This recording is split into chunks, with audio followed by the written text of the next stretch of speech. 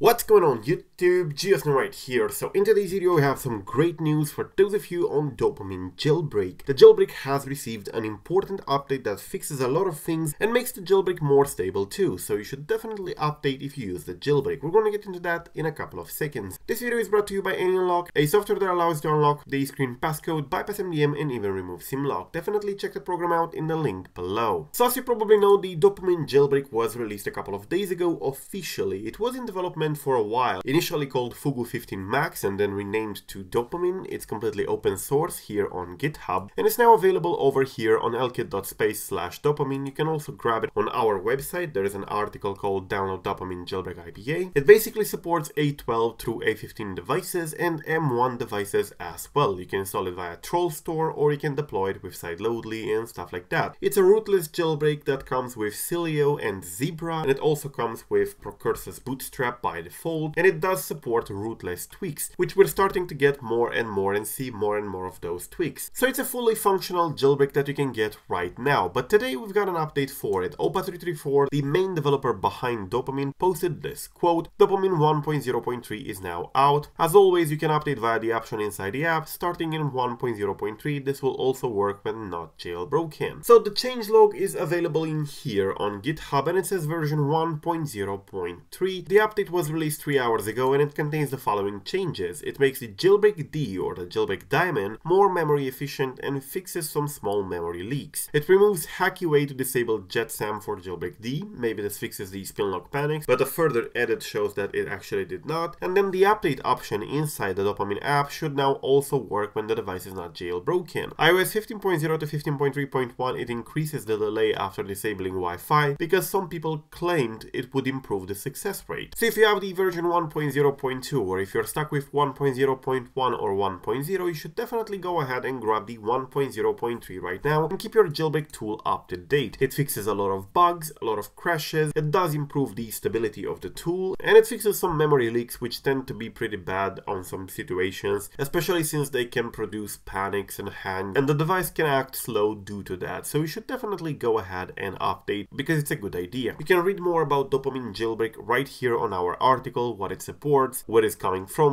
whether it comes with Cydia or not, and stuff like that. So definitely check the article in the links below. It also contains the IPA. Thank you for watching. I am Geo Snow, Peace out.